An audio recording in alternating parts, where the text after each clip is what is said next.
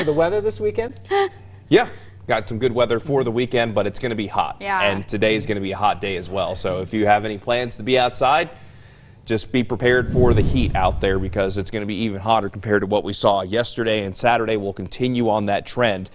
But with the heat, the dry conditions, and the windy conditions, Red flag warnings have returned, and we'll see that for the western half of the state. So we'll talk about that, and we'll look ahead into and past this upcoming weekend. But that red flag warning for just about everybody along and west of the I-15 corridor in the Beehive State. For those of you in Cedar City and St. George, you're not included in the red flag warning, but there is an elevated fire risk for today, and even in eastern Utah. While we don't have that that red flag warning. It's still something you need to be mindful of, of that ongoing fire risk. High pressure in control of our weather, and that high pressure has pushed just about all of that moisture away to our east. So mostly dry skies across the Beehive State for today. And we're not really going to be looking at much in the way of any cloud coverage. Mostly sunny skies, but at least it's a beautiful sunrise. Red Cliffs Lodge in Moab, a very calm Colorado River. You can see the reflections off of the Colorado River this morning in southeastern Utah and Moab, and then in Deer Valley, an absolutely spectacular sunrise looking down towards Jordanelle Reservoir. So no matter where you are, if you have an unobstructed view of the horizon, you're going to see a pretty sunrise.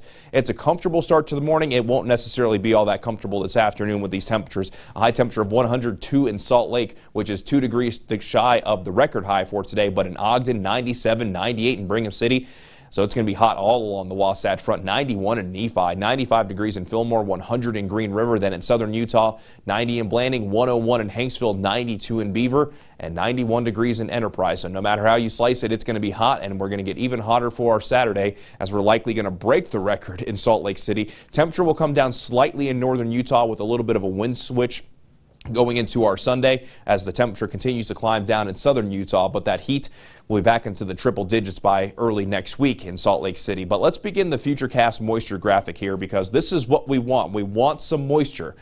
But as we move forward here from today into tomorrow, we're going to be looking at predominantly dry conditions. By tomorrow afternoon, there's a small chance that some moisture could find its way into some of the higher terrain, predominantly in central and in eastern Utah. But going into Sunday in southeastern Utah, we're going to have a better chance to at least see isolated showers and storms as that monsoon moisture tries to work its way back in as it kind of clashes with that dry air. But then as we get from the early to middle stages of the week, the high pressure that will be keeping our weather mostly quiet will start to move away to the east, allowing more of a straight southerly flow.